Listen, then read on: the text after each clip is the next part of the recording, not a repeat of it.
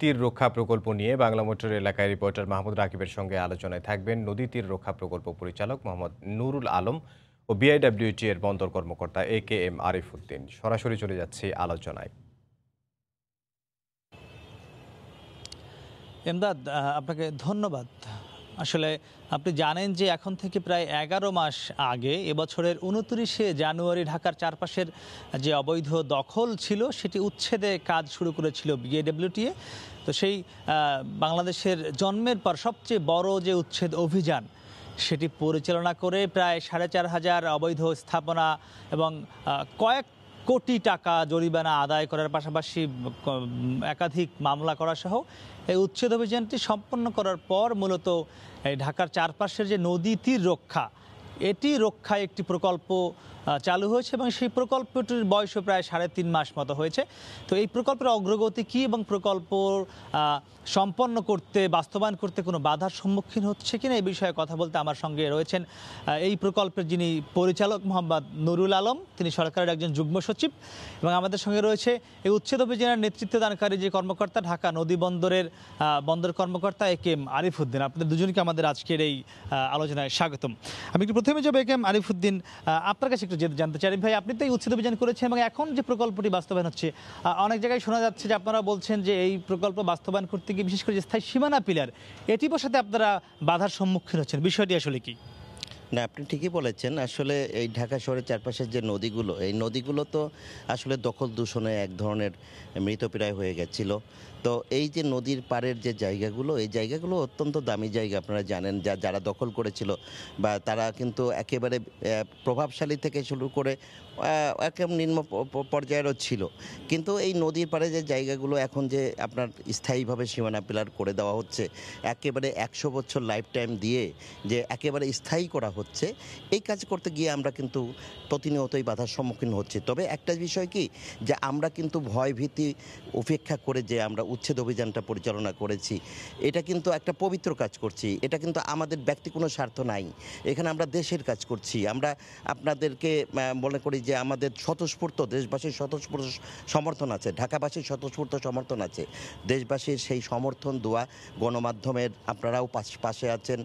সর্বোপরি আমাদের যে সরকারের নৌ পরিবহন প্রতিমন্ত্রী মহোদয়, সচিব মহোদয়, ঊর্ধ্ব, নৌ- পরিবহন মন্ত্রণালয়ের ঊর্ধ্বতন কর্মকর্তাবৃন্দ এবং আমাদের বিআইডব্লিউটির চেয়ারম্যান থেকে শুরু করে ঊর্ধ্বতন কর্মকর্তা, আমাদের সার্বক্ষণিক সাহস যোগাচ্ছেন, আমাদের তদারকি করছেন। সেহেতু একটা ভালো কাজ করতে গিয়ে যে আমাদের এই সমস্ত আমরা যেভাবে নির্ভীক চিত্তে প্রভাব প্রতি বাধাহীনভাবে আমরা উচ্ছেদ অভিযান করেছি।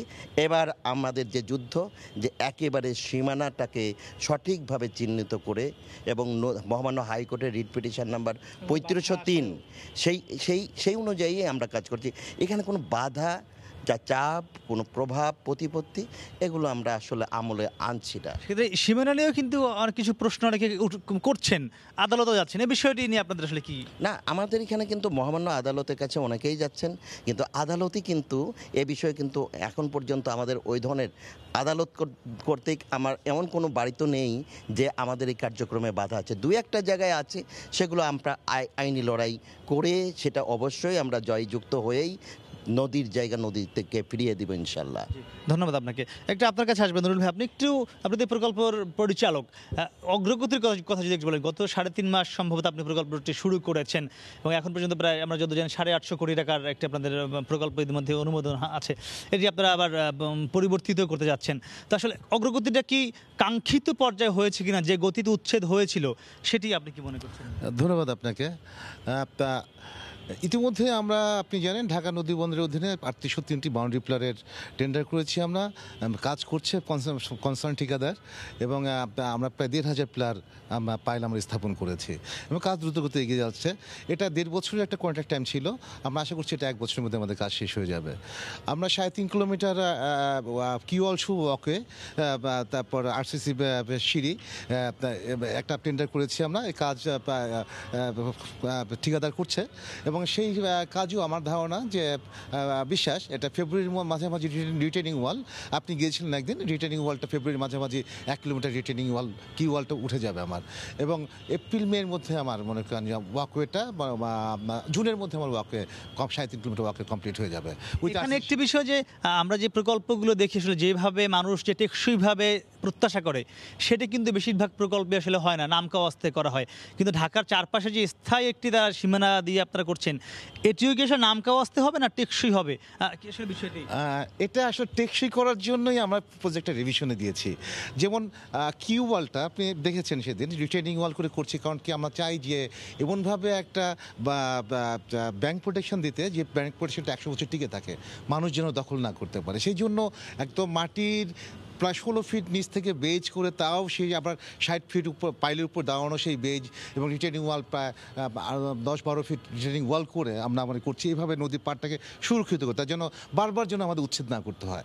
যেন এভাবে করছি আমরা আমরা একুশ কিলোমিটার কি ওয়ালের প্রস্তাব করছি রিটার্নিং খাড়া রিটেনিং ওয়ালের প্রস্তাব করছি। এই কারণেই যে এই জায়গাটা যেহেতু ব্যাক সাইডে যেহেতু মানে অনেক বাসাবাড়ি আছে আমরা মনে, আমাদের কাছে মনে হয় যে এটা দখল হয়ে যেতে পারে আবার। যেভাবে দখল হয়েছিল আগে। সেই জন্য এই দখলগুলো যেন না হয় সেই জন্যই কিন্তু রিটেনিং ওয়াল করে আমরা প্রপোজ করেছি। আমরা বাউন্ডারি প্লার করেছি। রিটেনিং ওয়ালগুলোর যে আমরা কনসার্ন যারা আমাদের স্ট্রাকচারাল ইঞ্জিনিয়ার তারা এভাবে ডিজাইন করেছে এটা একশো বছরের লাইফ টাইম ধরে এটা ডিজাইন করেছে। অ্যাট দ্য সেম টাইম মনে করেন আমরা যে বাউন্ডারি প্লার করেছি সেটাও কিন্তু একশো বছরের এরকম প্রায় সাঁত্রিশ ফিট নিচে যে বাউন্ডারি প্লার পাইলের উপর দাঁড়ানো স্থায়ী সমাধান হয়। একটু আপনার কাছে আসব। আপনারা উচ্ছেদ অভিযান করেছেন দখলের বিরুদ্ধে কিন্তু দূষণ একটি বড় বিষয়। ঢাকার চারপাশ শুধু চারপাশের মানুষকে নয় পুরো ঢাকাবাসীকে আসলে দূষিত করে ফেলছে এই দূষণ। এটি সমাধানে কোনো কার্যকর উদ্যোগ নেবেন কিনা? খুব ছোট্ট করে বলবেন। হ্যাঁ ধন্যবাদ। আসলে আমরা একটা জিনিস বিশ্বাস করি যে, নদীর প্রধান উপকরণ কিন্তু পানি।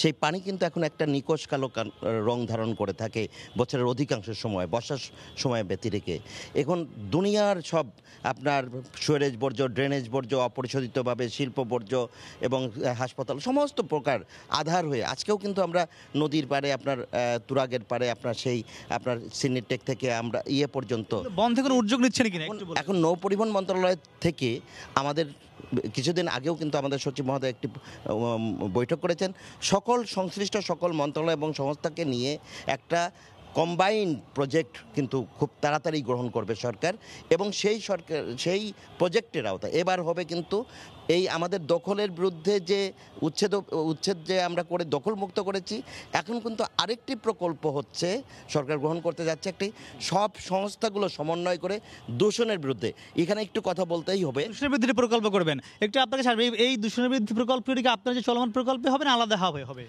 এই চলমান প্রকল্প ছোট্ট একটু পার্ট আছে আমরা একটা এই ব্যাপারে একটা স্টাডি করব সেই জন্য একটা পার্ট আছে কিন্তু এটা এক্সক্লুসিভলি একটা কথা ছিল যে আমাদের প্রকল্পের মধ্যে ধরা ছিল।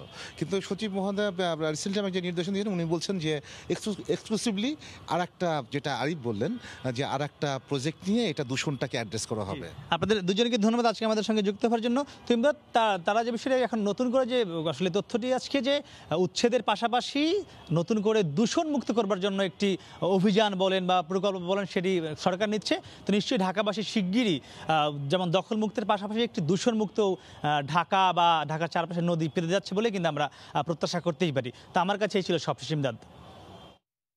ঢাকার চারপাশের নদীর তীর রক্ষা প্রকল্প নিয়ে আমরা আলোচনা দেখছিলাম। বাংলা মোটর থেকে যোগ দিয়েছিলেন রিপোর্টার মাহমুদ রাকিব, সঙ্গে ছিলেন দুজন অতিথি।